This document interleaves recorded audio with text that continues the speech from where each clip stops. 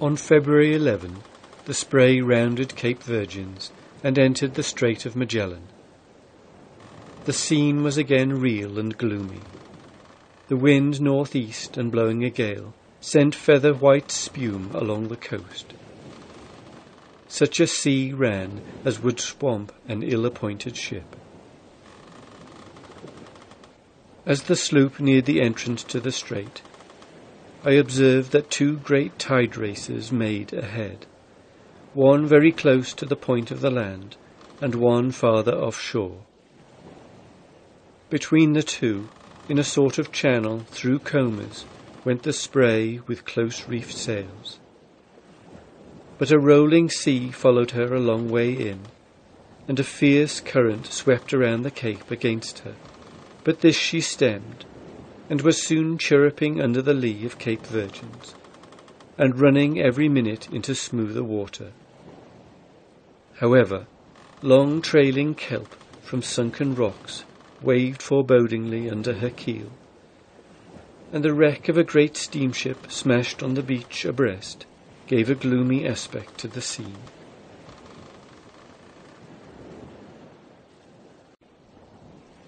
I was not to be let off easy.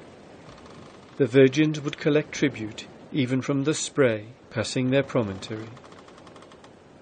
Fitful rain squalls from the northwest followed the northeast gale. I reefed the sloop's sails, and sitting in the cabin to rest my eyes, I was so strongly impressed with what in all nature I might expect, that as I dozed, the very air I breathed seemed to warn me of danger. My senses heard spray ahoy shouted in warning. I sprang to the deck, wondering who could be there that knew the spray so well as to call out her name passing in the dark, for it was now the blackest of nights all around except away in the southwest, where the old familiar white arch, the terror of Cape Horn, rapidly pushed up by a southwest gale. I had only a moment to douse sail and lash all solid when it struck like a shot from a cannon. And for the first half hour it was something to be remembered by way of a gale. For thirty hours it kept on blowing hard, the sloop could carry no more than a three-reefed mainsail and fore staysail. With these she held on stoutly, and was not blown out of the strait. In the height of the squalls in this gale, she doused all sail, and this occurred often enough. After this gale followed only a smart breeze, and the spray, passing through the narrows without mishap, cast anchor at Sandy Point on February 14, 1896.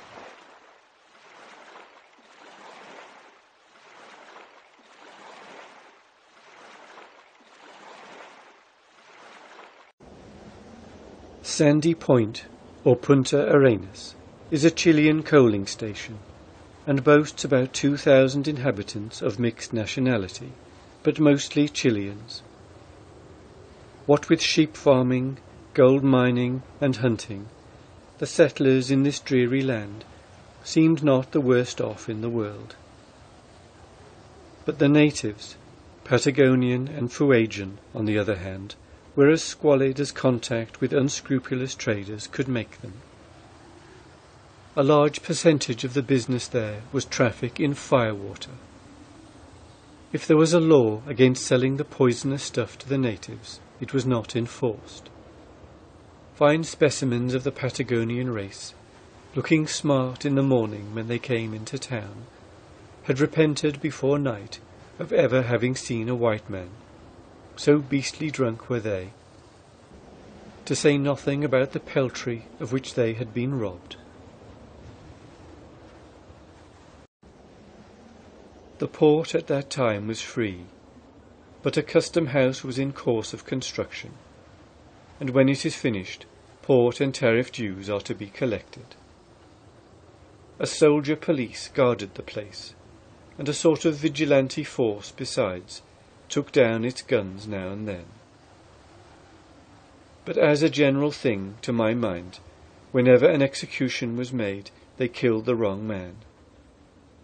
Just previous to my arrival, the governor, himself of a jovial turn of mind, had sent a party of young bloods to foray a Fuegian settlement and wipe out what they could of it on account of the recent massacre of a schooner's crew somewhere else.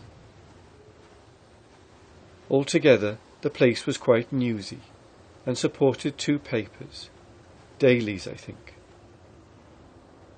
The port captain, a Chilean naval officer, advised me to ship hands to fight Indians in the strait farther west, and spoke of my stopping until a gunboat should be going through, which would give me a tow.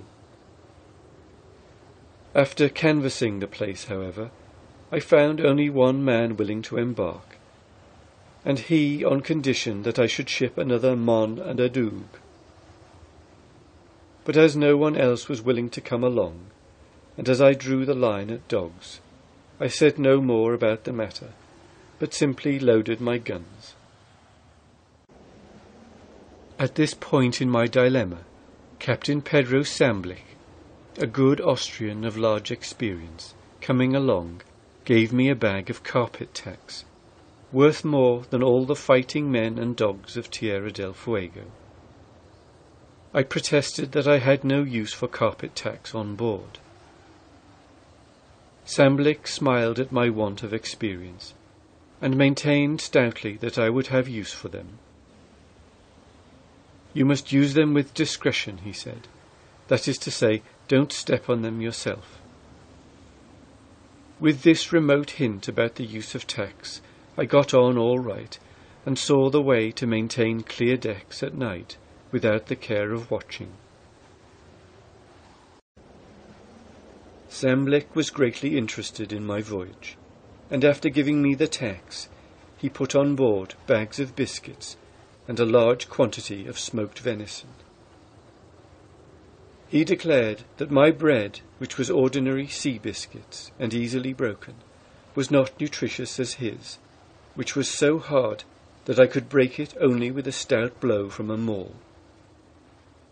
Then he gave me from his own sloop a compass which was certainly better than mine, and offered to unbend her mainsail for me if I would accept it. Last of all, this large-hearted man brought out a bottle of Fuegian gold dust from a place where it had been cached, and begged me to help myself from it for use farther along on the voyage. But I felt sure of success without this draught on a friend, and I was right. Samblich's tacks, as it turned out, were of more value than gold.